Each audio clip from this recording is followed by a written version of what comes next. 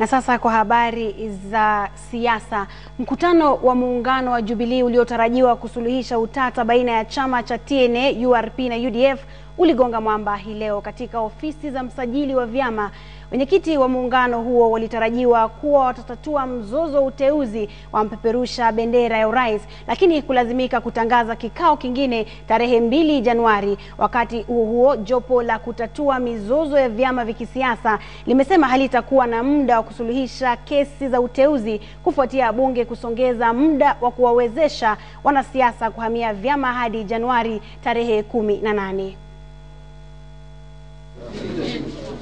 Wenyekiti wa vyama vya UDF, URP na TNA waliwasili katika ofisi za msajili wa vyama, lakini lengo lao la kusuluhisha utata wa uteuzi uliojadiliwa kwa takriban masaa mawili halikuwafikiwa, kwani walipotoka The parties have ventilated on the issues raised by the letter written by UDF to the Registrar of Political Parties.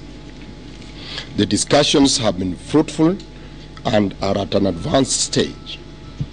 The parties have agreed to come back on 2nd of January 9, 2013 na tulipodadisi ikiwa muungano wa Jubilee umesambaratika na kuwarudisha katika hatua ya kuunda mrengo mwingine, na hakuna mambo mengine tutajibu zaidi ya hiyo. duru zimetuarifu kwamba mazungumzo hayo yalienda mrama pale UDF walipokubali kujiondoa, lakini kwa masharti ya mkataba wa mrengo huo, yakiwemo wasitumie tena jina la Jubilee kwani ni zao la fikra ya vyama vitatu, na URP na TNA waombe msamaha hadharani kwa kukiuka mkataba wa uteuzi wa mgombeaji urais na kuwahadaa UDF.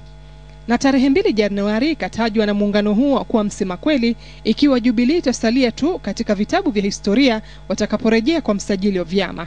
I, Atema James Amalemba, Wakati huo huo, jaji mkuu Willy Mutunga amemwapisha mwanajopo James Amnalemba katika jopo la kusuluhisha kesi za vyama vya kisiasa. Tayari wamehofia huenda wakashindwa kutatua mizozo ya vyama, kwani muda wao umefupishwa na hatua ya bunge kusongeza tarehe ya mwisho kuhama vyama ya Januari 18. This gives the political parties and their candidates a slim period of about 10 days to resolve nomination disputes internally, which is the requirement of the law, and thereafter to file and have them determined by the tribunal if need be.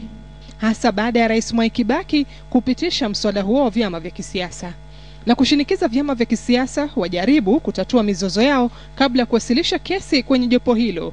Jopo hilo linasubiri uteuzi wa mtu mmoja ili kufikisha idadi yao kuwa wanachama watano, ndiposa watekeleze majukumu yao vilivyo. Isabella Kituri, KTN leo.